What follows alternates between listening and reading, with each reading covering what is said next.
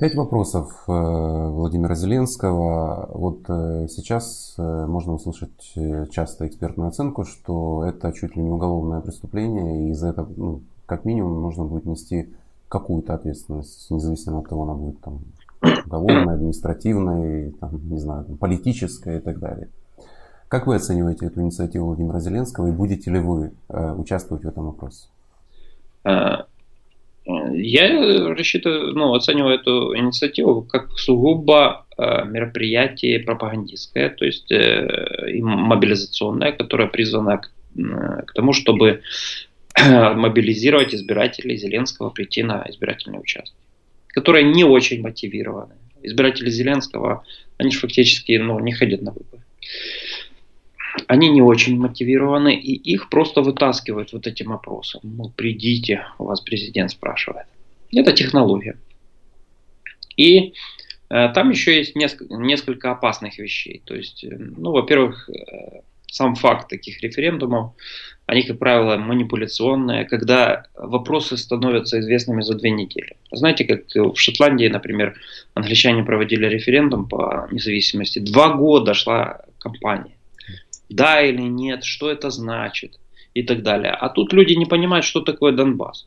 Спрашивают о свободной экономической зоне Донбасса, а люди не понимают, Донбасс это что вообще? Это Донецкий угольный бассейн, да? Значит, Мариуполь, Славянск, Краматорск, Лисичанск не входят в Донбасс. Они не являются частью угольного бассейна. Ну, возможно, возможно Лисичанск там является. То есть, вот такие вот вопросы. Э, что это вообще такое? Масса всяких непонятных вещей э, в этой ситуации. Поэтому э, я, конечно, не буду принимать участие. Я опрошу избирателей, я свой альтернативный опрос проведу. Опрошу избирателей, поддерживают ли они идею о том, что выходцы из 95-го квартала должны руководить в первую очередь 95-м кварталом им исключительно 95-м То есть э, я не собираюсь ограничивать их права, там, этих работников. Ну, просто интересно узнать мнение людей. Вот они считают, что хватит уже, поиграли. Вот, или пускай еще чуть-чуть поиграют. Я думаю, что легитимность моего вопроса будет приблизительно такой же, как и легитимность опроса Зеленского. Что касается ответственности, я думаю, что в момент эпидемии, пандемии, конечно, это, ну, это создание дополнительных угроз для людей, которые осуществляют свои конституционные а, обязанности. То есть такие вещи, конечно, в момент пандемии должны пресекаться, в том числе Министерством э, охраны здоровья, здравоохранения. То есть э, на избирательных участках, где и так будет присутствие большого количества людей, еще Э, пару интервьюеров, еще толпа вокруг этих пары интервьюеров. И, соответственно, что будет в результате? Будет э, ну, как бы увеличение заражения. Поэтому я принимать участие, конечно, в этом не буду. Э, но есть братья Капрановы призывают там столики переворачивать а, и документы порвать. Ну, кто хочет, э, в принципе, это не уголовное преступление, но я таким заниматься не буду. И пытаются этому всему попрепятствовать, сохранить представительство своих фракций хотя бы в каждом совете, чтобы где-то они, ну, чтобы не было вообще полного тотального разгрома. Но, судя по всему, у него результат будет не очень утешительный. То есть мэров будет очень мало. Скорее, скорее будут мэры от его союзной политической силы Коломойского, от вот этой э, за, за, май, да, за майбутнее. То есть фактически сейчас э, тайно идет поддержка со стороны администрации Зеленского вот этих э, и загоняние в эту за майбутнее произошло мэров различных городов. А вот, специально, чтобы получить хоть какой-то результат через олигарха Коломойского.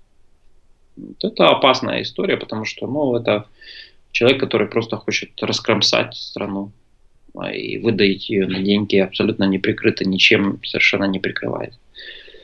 А, и вот э, будет возможность, что такой, такие, такая политическая сила что-то там получит, и в будущем станет э, ну, каким-то участником коалиции, где будет диктовать там об отказе от сотрудничества с МВФ, о том, что Коломойского никогда нельзя выдать ФБР, ну и других таких вещах, которые нам будут нарушать наше сотрудничество с западными странами.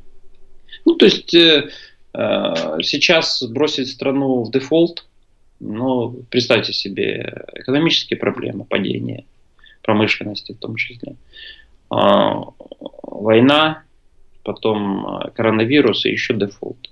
Это, это же жестко. Но вот это то, что у Коломойского поддерживает. Главное, чтобы ему было хорошо, понимаете? Ему хорошо, значит, все хорошо.